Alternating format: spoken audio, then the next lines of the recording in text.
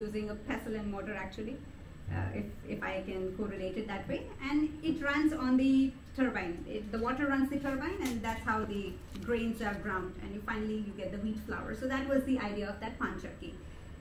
In a terrible state, that particular tourist attraction out of the seven or eight tourist attractions that we visited was in a terrible state. And beyond that, all the delegates of ours we, we went to see that and we were inquisitive about, okay, where is the water coming from? So we were told it's six kilometers of channeling that has been done right from Bibi Ka Maqbara to this particular place, and that's how it's being powered, etc. Nice piece of information.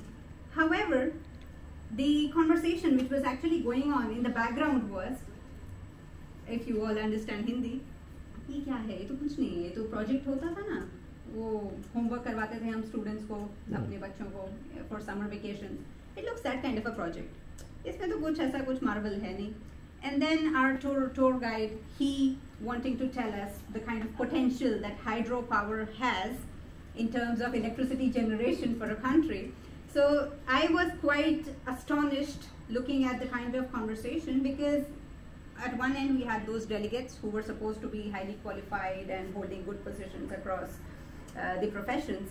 And on the other hand, we have a humble tour guide who is educating us actually on what is the potential of hydroelectric power. Rather, we can get electricity from hydropower, and we people just talking about it as a project and not being able to appreciate that it really holds. What is the value that